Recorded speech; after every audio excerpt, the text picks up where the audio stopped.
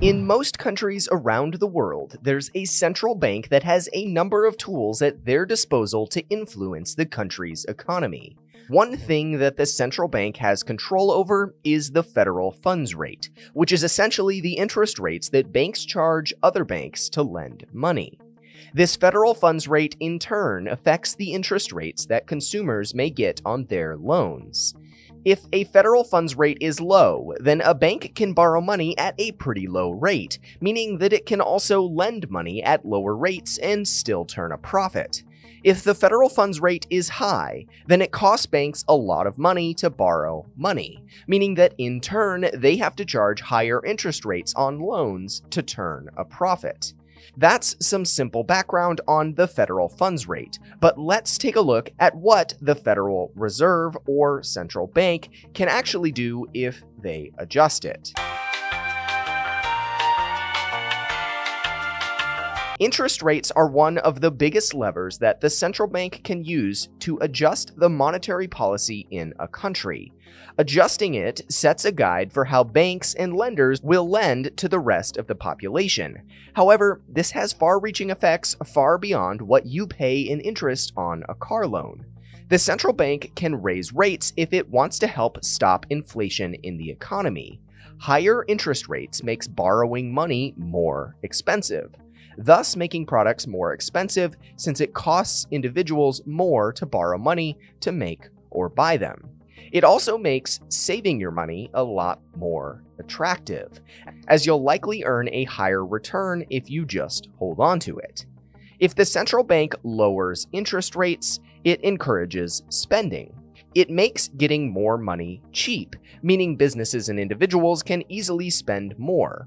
Lower interest rates also discourage saving, as keeping your money sitting in a bank account will yield less, in theory, than going out and spending it on investments, businesses, or goods.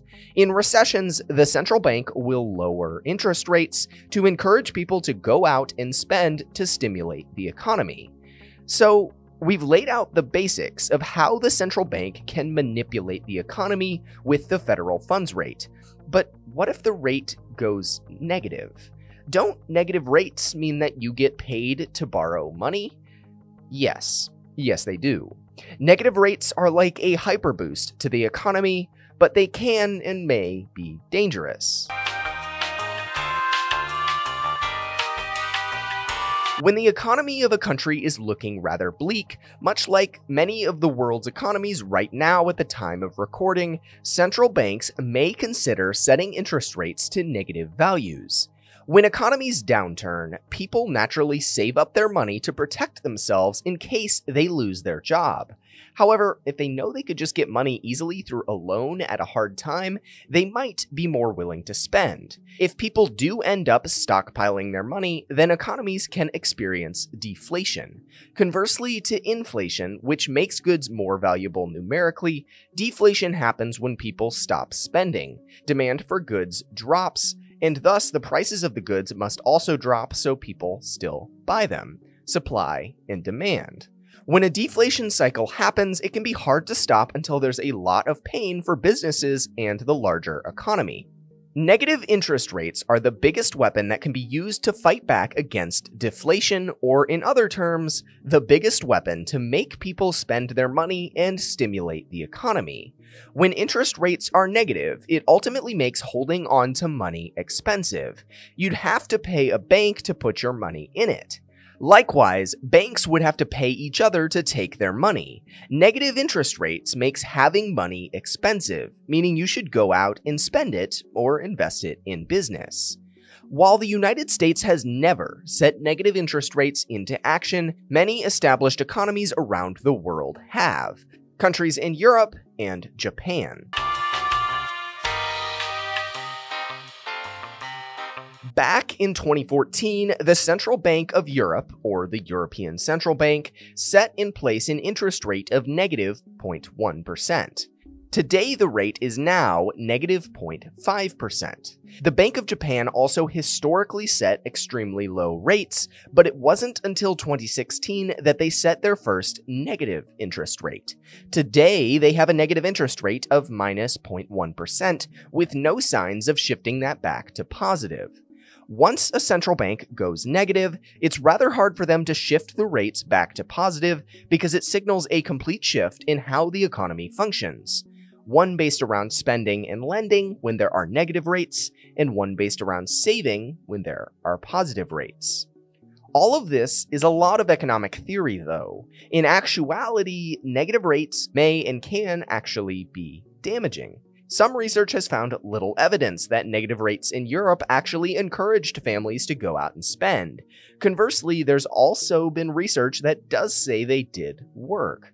All this said, negative interest rates probably do something, but danger can set in if central banks are never able to set them back to positive.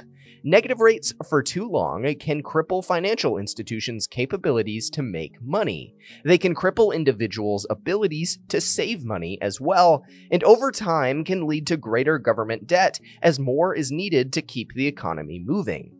Because negative interest rates are a fairly new monetary tool in regards to all of financial history, the evidence of their effects is fairly mixed. Japan's negative interest rates seem to work at first, but now their effect seems to have faded. Prices of goods are falling, and the bank has little more power to stop it because the rates were already negative. Conversely, in Europe and Japan, negative rates did seem to work initially, which suggests that maybe negative rates coupled with other financial policies might actually work to stimulate a dying economy. In summary, negative rates are one of the most powerful tools that central banks have to fight back against a dying economy. While there's still mixed results in regards to their long-term effects, they do seem to work initially as a stimulus measure. While you as the consumer will likely initially benefit from negative interest rates, they can have some damaging long-term effects too. When it's cheap for you to borrow money, that also signals to manufacturers and sellers that they can raise prices. When it's cheap to get a mortgage, home prices can be driven up, ultimately balancing out the equation for you.